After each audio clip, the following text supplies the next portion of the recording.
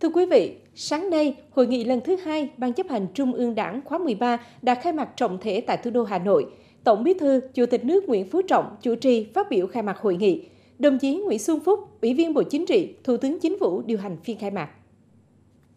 Tại hội nghị, Ban chấp hành Trung ương khóa 13 bàn về chương trình làm việc toàn khóa, việc giới thiệu nhân sự lãnh đạo cấp cao của các cơ quan nhà nước và một số vấn đề quan trọng khác.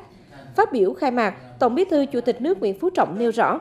hội nghị diễn ra trong không khí cả nước vừa vui xuân đón Tết, mừng thành công rất tốt đẹp Đại hội 13 của Đảng và đang tích cực triển khai thực hiện các nhiệm vụ phát triển kinh tế xã hội, phòng chống đại dịch Covid-19, đồng thời khẩn trương chuẩn bị để tiến hành thắng lợi cuộc bầu cử đại biểu Quốc hội khóa 15 và đại biểu Hội đồng Nhân dân các cấp nhiệm kỳ 2021-2026.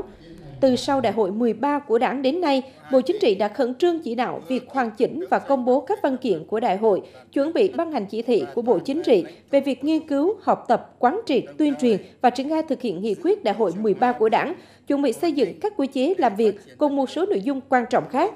Bộ Chính trị cũng đã thông qua chương trình làm việc của Bộ Chính trị Ban Bí thư năm 2021, tiến hành phân công một bước các đồng chí Ủy viên Bộ Chính trị, Ban Bí thư